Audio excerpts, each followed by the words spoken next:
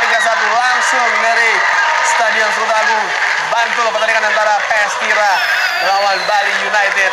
Tetapi berhasil menang melalui gerakan gol yang mengejutkan. Dan Bali United Milos. Fadil Sausu kendala lalu Fadil! Oleh Teguh Amiruddin.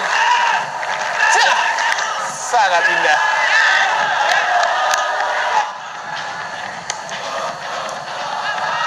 Rakic, Alex Rakic. Lagi-lagi salah umpan. Wasing ke depan. Alex Rakic, Alex Rakic! Mengenai tiang gawang. Kesalahan ya dari eh, Demerson. Tidak bisa mengantisipasi dengan sempurna umpan jauh yang ditujukan pada Alex Rakic tadi. Ini arah Dari Bali United sebuah serangan balik yang membahaya dan Pestra passing tendangan mencoba kembali Pestra mengejutkan banyak pihak ditekan oleh Bali United justru tendangan dari Gustavo Lopez yang disundul oleh Wawan tadi. Ya, salah antisipasi Wawan Hendrawan.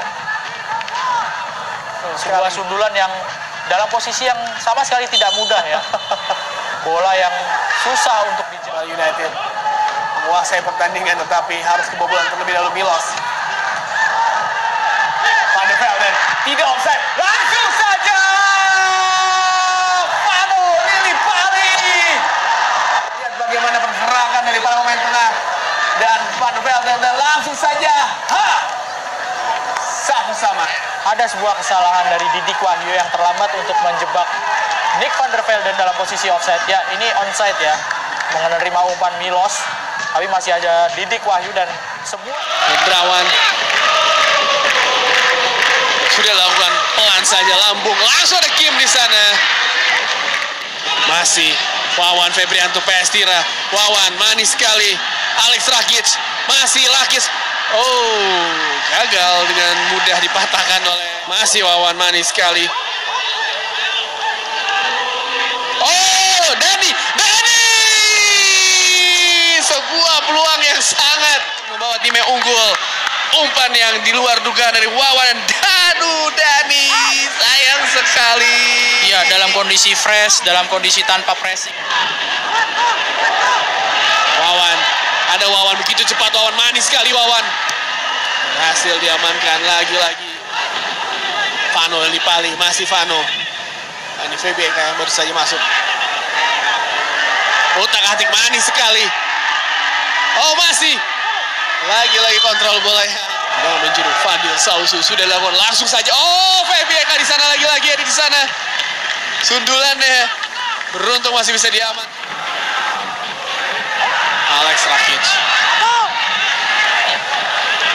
Oh, terlalu tajam maksudnya dari foul. Manis sekali. Vano Lillipali gagal. Sebuah koordinasi yang sangat buruk. Ya, dan kali ini lihat siapa? Gustavo Lopez.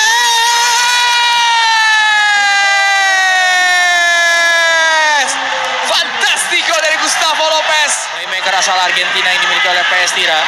Ini tipikal dari Gustavo Lopez memang ya, mendapatkan kesempatan melakukan tendangan bebas di titik yang sangat ideal. Wawan juga sudah full stretch ini ya. Benar-benar eh, menyulitkan memang seperti Vano Lillipali tadi. Sudah berhadapan dengan Teguh Amiruddin tapi justru yang diarah adalah badan Teguh. Tadi kita lihat bagaimana umpan dari yes, berduel Alex Rakic kali ini. Masih Alex Rakic. Jangan langsung terkena pemainnya.